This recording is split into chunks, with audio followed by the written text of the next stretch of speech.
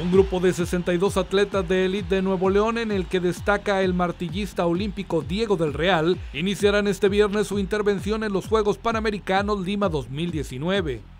Deportistas como la ciclista Sofía Arreola, doble medallista mundial por México, los representantes de canotaje Alberto Briones y Mauricio Figueroa, tiradores de escopeta olímpica como el experimentado sanpetrino Carlos Segovia, las jugadoras del equipo Tigres de waterpolo Frida Ramos, Alejandra Flores y Leldi Bueno, entre otros regios, portarán los colores de México en el evento antesala de los Juegos Olímpicos Tokio 2020.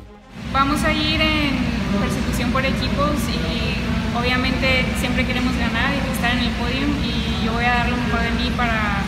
para estar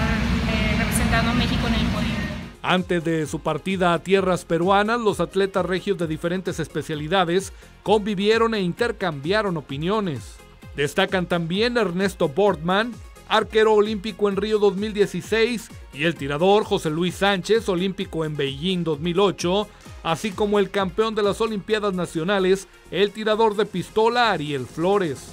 La idea es sacarme esa espinita, poder tener un mucho mejor resultado de manera individual y por qué no repetir la, medalla de oro por equipos.